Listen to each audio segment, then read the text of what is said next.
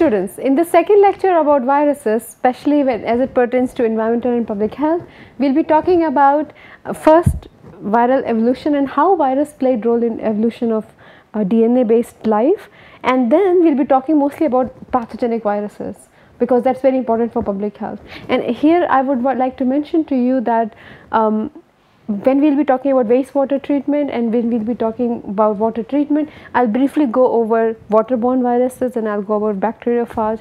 So, we will cover the environmental health later, but for today our focus would be mostly on public health and we will be as I mentioned in the previous lecture, we will also be talking about viroids and briefly about prions. So, let us get started.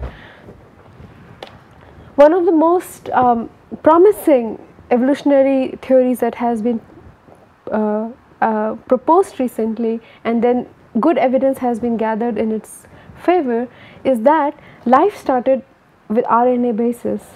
So, uh, earlier we did not have this additional step of DNA that required to be transcribed into RNA, but there was just RNA present and then proteins were translated from RNA and um, life continued, right. So, all the protoviruses are believed to be RNA based viruses. Even the initial cells, bacterial cells or archaeal cells, they are assumed or uh, believed to be RNA based life forms. Now dear students, if you have attended the previous lectures really well, you must know that RNA is not a very stable genetic element.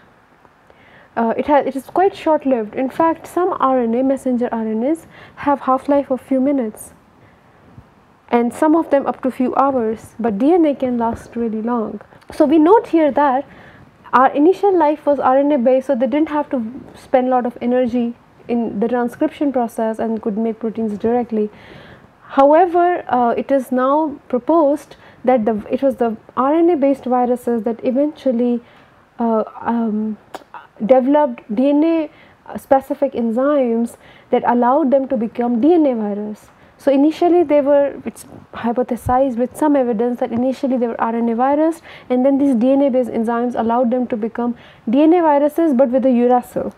So, they still held, held on to the uracil that is typical of RNA, but it was still DNA based virus and then they got rid of uracil and had thymine which was more stable. So, then they became DNA based viruses with thymine in it. Now, when these DNA based viruses they infected other cells so, remember they can undergo two processes, they can undergo lytic uh, pathway where they replicate. Inside the cell, they make proteins and more genetic material and then they break off, they lyse the cell membrane and they are free now to go and infect other host cells. In the lysogenic pathway they become integral part of the cellular chromosome and they replicate usually and they just remain silent until they move back to the lytic pathway. But so it is believed that when these DNA viruses they infected the cells and they underwent the lysogenic pathway not the lytic pathway the cells discovered that some part of their genetic material was very stable. So, the RNA based genetic material would degrade really fast, but then this viral genetic material, the DNA based viral genetic material would last longer and thus the infection of an RNA cell by a DNA virus could have exposed the cells to the more stable chemistry of DNA over RNA. Now, when um, the ancestors of bacteria or the protobacteria they are they were probably infected by a very different kind of viral DNA than the ones that um, ancestors of archaea and eukarya were infected and that is why we see that the bacterial mechanisms and metabolism is at times very different than archaea and eukarya. So, archaea and eukarya are very close to each other in some cellular functions. So, maybe it is just that the prototype of bacteria was infected by different DNA based viruses and thus their cellular function and machinery is somewhat different. Alrighty, so now let's uh, now that I have cleared this ab about the latest theory in evolution of uh, virus, let's move on to tumor virus. We briefly talked about them in the previous class, but let's take a good look at tumor viruses. So what I'm going to show you is actually a virus called polyoma virus, and this induces tumor in human beings. So this is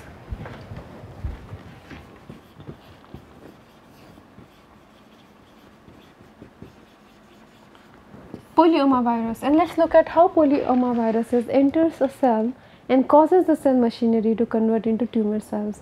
So, you have this polyoma virus which is circular DNA based virus. So, this is tumor virus which is DNA based and once it is injected into the cell what it does is it undergoes lysogenic pathway not the lytic pathway. So basically if the green is the host cell it will integrate itself into the host DNA. So now that it is integrated into host DNA whenever this portion of the DNA of the um, host cell would be transcribed it will make mRNA for the entire portion. So, because you know this will have its own start codon and stop codon and ribosome binding site and all those things, it will make an mRNA which will be a tumor virus mRNA. So, what was a DNA? A potential for making um, certain proteins, a potential for causing certain uh, activity in the cell now becomes a message, a mRNA. Now, this mRNA if the cell is healthy and working fine and does not identify this to be a foreign uh, genetic material then it will translate it into it will translate it into proteins that will convert a healthy cell into tumor cell. So basically a healthy animal cell can be converted into tumor cell by a lysogenic pathway by tumor viruses such as polyomavirus. Now there are certain viruses like in the previous lecture I talked about retroviruses these are single stranded RNA viruses so it does not have to undergo uh, it does not have to be a tumor virus based DNA but it can be single stranded RNA virus too and it might also cause us tumor. Okay, I talked briefly about retrovirus, now coming to retrovirus replication. So remember retroviruses are the viruses that, are, that have uh, single-stranded RNA in them. And in the previous lecture I talked about how retroviruses survive in the cell and how they replicate themselves. So let's go into a little bit more detail about uh, retrovirus replication using reverse transcriptase. So basically in the viral RNA there are uh, at the ends there are direct repeats and then reverse transcription happens and um, start from the 5 prime end. And then there is this uh, primer tRNA here. So, the terminally redundant viron RNA is uh, removed by the reverse transcriptase ribonuclease H activity. And then it is transferred to the 3 prime end. And then similarly here on this end it will start uh, trans um, it will start here uh, it will start reverse transcribing this end from 3 prime to 5 prime. So, initially it started from 5 prime to 3 prime some 100 base pair and here it has a terminal redundant terminal which is removed. So, once it is separated it sticks here because remember these are direct repeats. So, once you have a reverse uh, a cDNA a complementary DNA of this it will be complementary to this also right. So, it will come here it will stick here and then the reverse transcription will go from this end to this end. So, once it has been reverse transcribed from this end to this end, then it will remove all the unnecessary portion of the genetic material for example this one and then it will complete its DNA and then it will become part of the other DNA, it will integrate with it and once it has integrated with the host chromosomal DNA now it is in a provirus state. So, now it will just wait for this part of the DNA to become to be transcribed and once it is transcribed it will have its mRNA and then the mRNA will make the proteins required to make the viron. Okay as promised let us talk about viroids.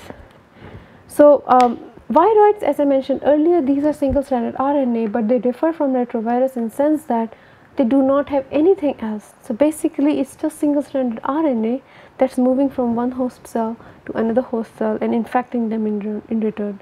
Now, the obvious question you, you must ask is if it is only single stranded RNA how is it stable? How does it survive the environment?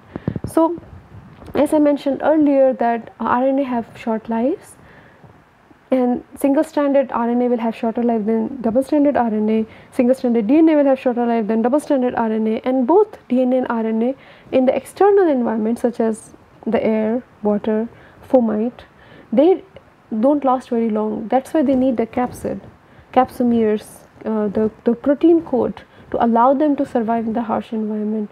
Because in the cell it is humid, it is wet and it is just the perfect environment for them to thrive to undergo metabolic processes but once they are out in the environment they have to live like a particle devoid of all necessary ingredients for life. So how does a single stranded RNA survive? Well it so happens that viroids people are studying them in plants and we notice that they do not survive out in the environment they just transfer from one cell to the neighboring cell to the neighboring cell to the neighboring cell so the infection spreads cell by cell and it is slower than if it were airborne but you know in plants by the time the infection is apparent it's quite bad okay now it is single stranded but doesn't mean that it all its nucleotides are exposed and waiting for anything to come and make hydrogen bonds with its AGTC. What it does is it has a conserved central domain. So within your single stranded RNA there will be conserved domains which are complementary to each other. So they fold in a way so that the conserved domain uh, are complementary. So it, it, looks something like this. So here I have phosphoviroid. So in this viroid particle there is a central conserved domain and you see CC, CC, GG perfect complement of GG, GCC. Now notice this is CG rich, it is rich in cytosine and guanine and if you remember from the first few classes cytosine and guanine have triple bonds between them so they are strong bonds. So this uh, they create very good reason for this uh, viroid to stay in this uh, overlapped form. So when it makes the overlap formed we have uh, the conserved central domain which makes sure that none of the nucleotides susceptible to anything coming and making hydrogen bonds with it and destroying the integrity of the viroid. So this is the job of conserved central domain. And then we have the variable domain which varies from one viroid to another, one type of viroid to another, then you have the RH terminal, you have the right hand terminal and the left hand terminal. And then you have a typical pathogenic domain which encodes for proteins that call make it pathogenic. Okay, so let us see how it works in the cell. First it will now let us say if this is a plant and it is a healthy plant but I inoculate it with a, a particular viroid and when I have uh, inoculated it with the viroid what will do first step is it will replicate in the inoculated leaf and go from cell to cell. So it's as I mentioned from one cell to another never exposing itself to the environment because the environment is hostile outside the cell but within the cell if it just moves from one cell to cell it will be fine. So note here um, these viroids these folded single stranded RNA it will move from one cell to another and in each time it makes multiple copies. So each time it makes multiple copies 3 copies and then more copies and they keep moving. The second is that when the it leaves the cell, uh, leaf and it enters the phloem vasculature. So now it can move through the vascular system of the plants and then once it is moved through the, uh, so this is the bundle sheath and here you have vascular parenchyma and then it goes to the companion cells and now once it has gone to companion cells it can go to the sieve element and then it can move on to, so once it has gone to sieve element it can move very easily. These cells are longer and they are very good for transportation and then um, here look they can go and infect other leaf. So they can have they know from one leaf the infection is spread to other leaf. Now the beauty to note here is that this is plasmodesmata and this arrow is showing you the viral replication. So virus is making more viral copy, one made 3 and then more and then more and then more at every step. So it is replicating everywhere except in the sieve element and um, and this is long distance movement these are short distance movement but this is very nice and important to know how viroid moves from one cell to cell until the entire tree is destroyed and a tree or a plant has a lot of plant cells and never exposes itself to the environment. Okay, now look what, what are the damages that viroid can do. If you look very carefully in this picture, these are your healthy potatoes and these are potatoes infected by this viroid these are potatoes infected by these viroid grown under otherwise very similar conditions. And you notice how they can affect our agricultural productivity. So this is not just a plant disease problem but it becomes very soon an economic problem and then a social problem and then a public health problem. Because when people don't have food to eat then we have they're susceptible to other diseases.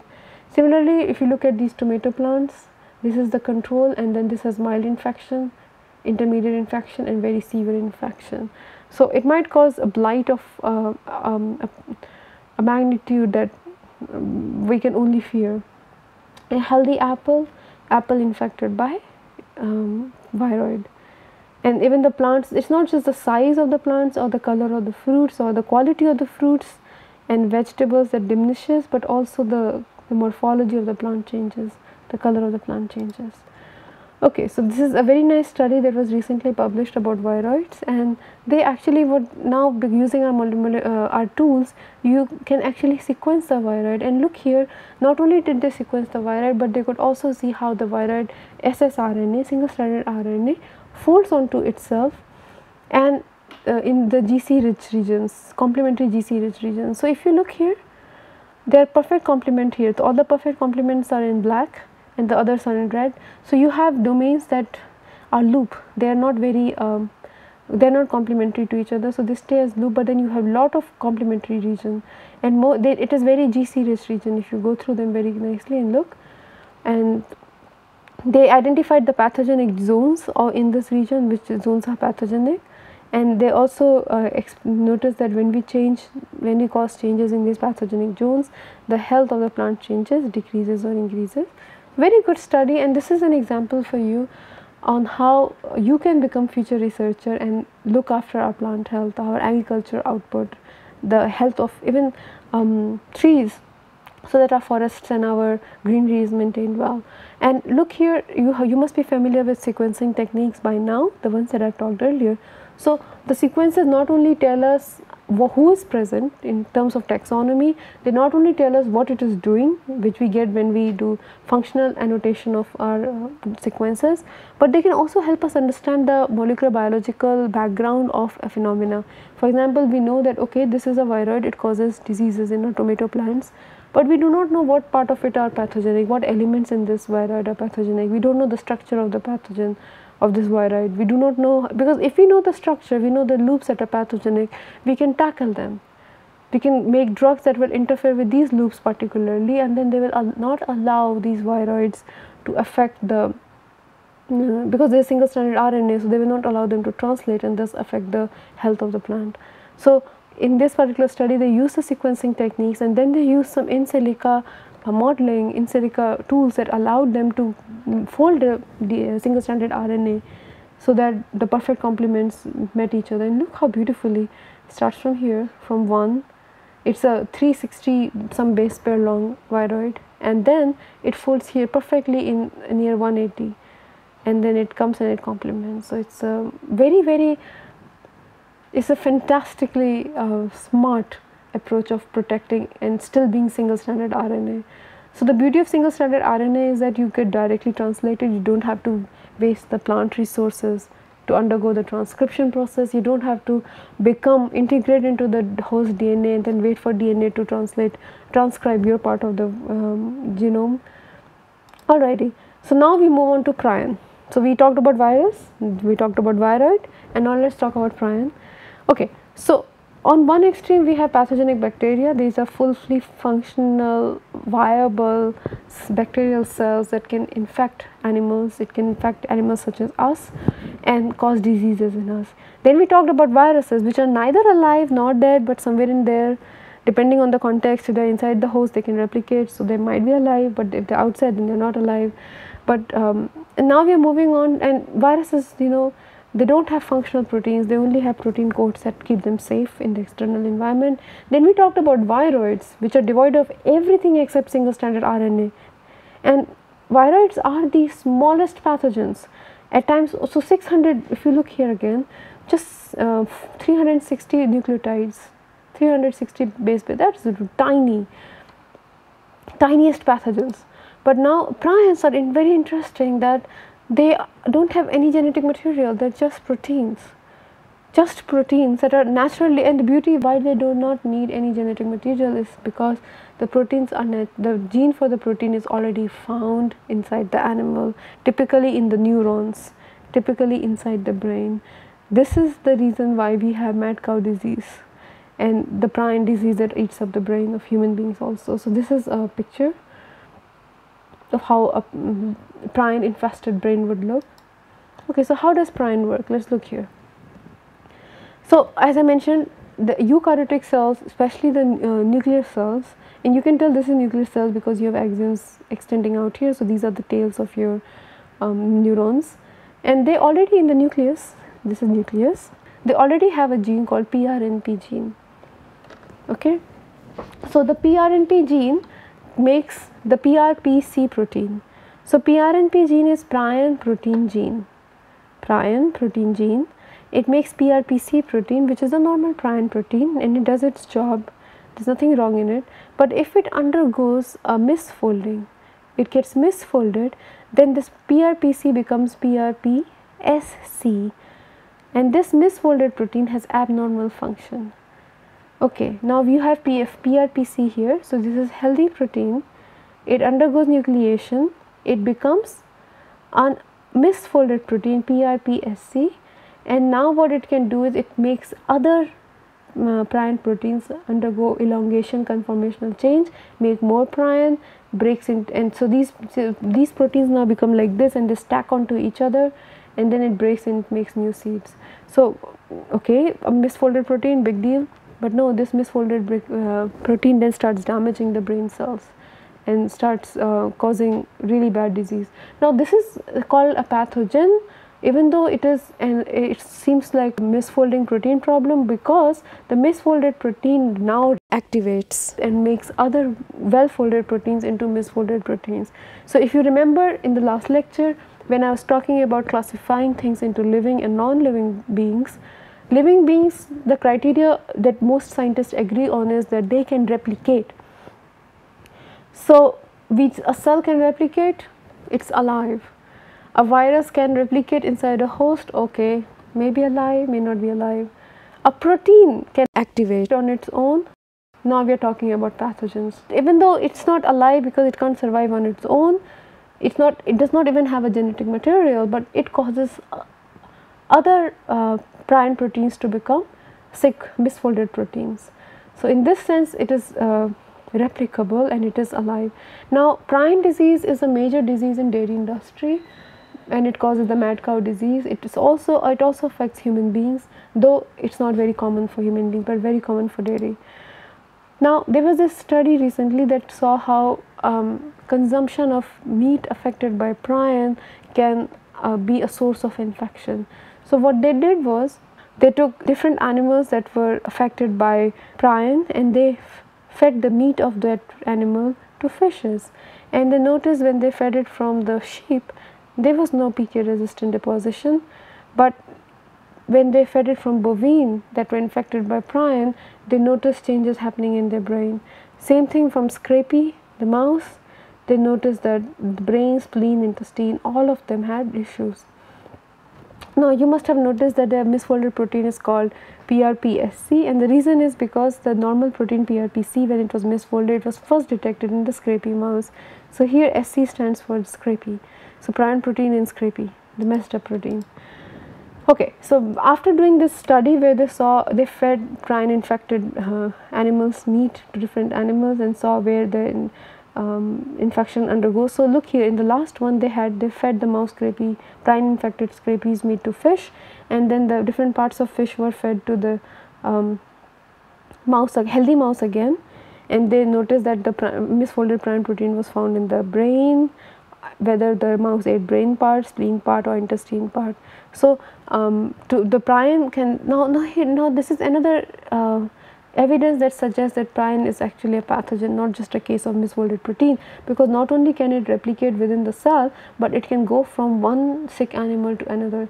So, if you go back to one of the first things I taught was Koch's postulates on identifying a pathogen and two main criteria was it should be able to replicate, it should be able to be isolated from a sick animal and then it should be able to be maintained or grown in the lab and then it should be able to infect healthy animals and this is exactly what they observed. So, prion is definitely a pathogen. So, when they were done with their study they have this uh, tentative proposed um, cycle of how prion can transfer. Well, you have mad cow, mad cow is a cow infected by prion and fishes eat it, eats fish. So if fish is infected, cow can get infected. If cow is infected, it's um, some body parts are used for making fish meals. The fish can get infected. Humans might consume fish parts such as meat, fish oil, gelatin. Humans can get infected even through the meat of the cow, the buffalo, and the milk products. Similarly, the cow and sheep they interact. Some uh, they interact with each other. They might spread the disease, and then the sheep meat milk products can infect human beings same thing if um, sheep and fish interact like sheep are fed fish oil for example right? Or um, milk replacer for example in many of the industrial farms the sheep babies and the cow babies don't get to uh, suckle their mother because their milk is directly taken and siphoned off for human consumption. So the younglings especially the females because the males are killed off the females they they are given uh, milk replacers. So the and most of them come from fishes. These herbivores eat carnivorous food. Um, and th that's how the prion can spread from can be transmitted from one body to another. Okay, so this is about prion. So we have talked about virus, we have talked about viroids, we have talked about prion. Now dear students, I want to give an example of a viral disease that is currently rampant, rampant in India as I record these lectures, August 2017. Okay, so earlier this year, um, H1N1 had been had started spreading in India, and if you look until May 717, we had some 8,000 H1N1 cases in India, some 345 deaths in India. So this is in 2017 as I am recording this lecture, this is a flashback into 2009 when the swine flu, the H1N1 flu spread in North America, in South America and it caused up to um, 94,000 cases there, some 500 deaths and made people, encouraged people to get flu vaccines every year. Now this is a reminiscence of that because India's um, infection rate is very high and I personally don't know the flu that I have right now is it H1N1 or not but if you notice that we noticed that in especially in the Deccan the southern part of the country we have quite high range of uh, number of cases and number of deaths. For example in Maharashtra we have an enormous amount of 181 deaths of 933 cases this is a very high mortality rate this is 5%. So one fifth of the people who were sick confirmed cases of H1N1 died. That's 20% mortality rate. So now another thing to note is that as virus H1N1 transmits from one person to another, transports from one part of the country to another, one country to another country, it undergoes evolution. So its mortality rate might also change. It's also possible that the mortality rate is different for different uh, states because the healthcare is different. Also note that these are confirmed cases. So many unconfirmed cases that never go to seek medical attention like my own case right now, they are not accounted for this in this. Now let's look at this infographic here. Um, till July 9, so this is a little bit more recent, some 12,460 people were affected by H1N1 caused 600 deaths against 1,800 infections and 265 deaths in last year. So this year we have nearly eight times worse already. We are just above half the year gone in nearly eight times worse H1N1 outbreak. And the worst affected states are definitely Maharashtra with an extremely high mortality rate. And now we see it's uh, less than 20% but nearly 30%. Telangana, Kerala, Rajasthan and Gujarat. And we don't know how in next few months the disease will spread across. I believe it's already spreading in NCR and Delhi, we don't know. But um, if you look here, the worst epidemic we had of in past few years, in 2013 there were some 5000 cases of confirmed cases of H1N1 and some 700 deaths. In uh, 2014, the, we had lesser number of H1N1 cases, but um, we had higher, um, sorry, and yeah, high mortality. In um, in um, 2015 we had some 42,000 uh, cases confirmed cases of H1N1 which is a big number and some uh, 3,000 people died. In 2016 we had a drop.